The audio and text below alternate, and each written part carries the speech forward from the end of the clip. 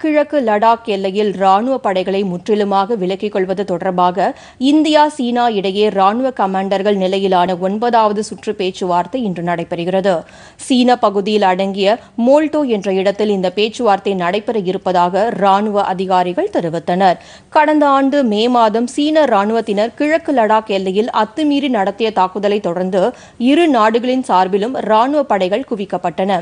எல்லையில் அமைதியை நிலைநாட்டவும் படைகளை திரும்பப் பெறுவது தொடர்பாகவும் இரு நாட்டு அமைச்சர்கள் நிலையிலான பேச்சுவார்த்தை நடைபெற்றது.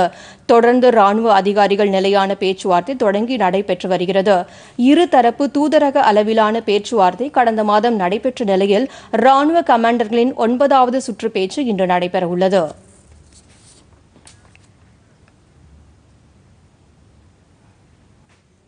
பொதிகை செய்திகளை யூடியூபில் தமிழ் நியூஸ் தூர்தர்ஷன் என்ற சேனலிலும் முகநூலில் டிடி பொதிகை நியூஸ் என்ற பக்கத்திலும் ட்விட்டரில் டிடி நியூஸ் சென்னை என்ற பக்கத்திலும் இன்ஸ்டாகிராமில் டிடி பொதிகை நியூஸ் என்ற பக்கத்திலும் காணலாம்.